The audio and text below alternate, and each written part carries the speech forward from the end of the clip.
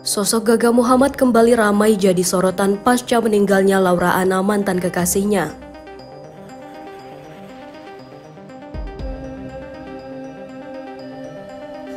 Sebelumnya dalam persidangan, Gaga Muhammad menyampaikan permohonan maaf pada Laura Ana sambil mengungkapkan duka mendalam. Diberitakan sebelumnya, Laura Ana meninggal dunia pada Rabu 15 Desember 2021. Ia sempat mengalami lumpuh selama dua tahun akibat kecelakaan bersama mantan kekasihnya Gaga Muhammad. Sebelumnya, Kepala Seksi Penerangan Hukum Kejati DKI Jakarta Asyari Syam mengkonfirmasi jika persidangan terdakwa Gaga Muhammad tetap berlanjut, meskipun diketahui terlapor yakni selebgram Laura Ana meninggal dunia.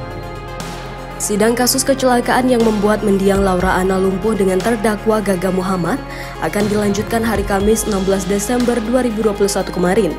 Sidang tersebut beragendakan pemeriksaan saksi dari jaksa penuntut umum, dilanjut pemeriksaan terdakwa Gaga Muhammad.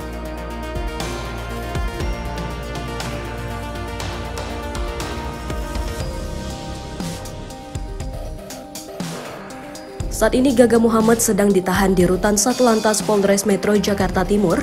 Dirinya akan menjalani rangkaian persidangan di sana melalui virtual. Gaga Muhammad dilaporkan ke polisi oleh Laura Ana yang merupakan korban.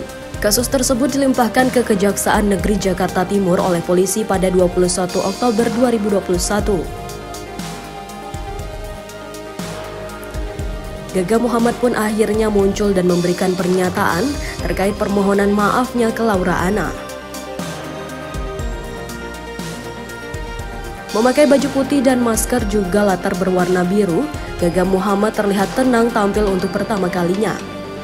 Sayangnya permohonan maaf Gaga Muhammad malah mendapat kecaman. Bukan tak beralasan, gelagat Gaga Muhammad yang memicu kemarahan netizen. Pasalnya Gaga Muhammad dicap tak ada penyesalan setelah Laura Ana meninggal dunia.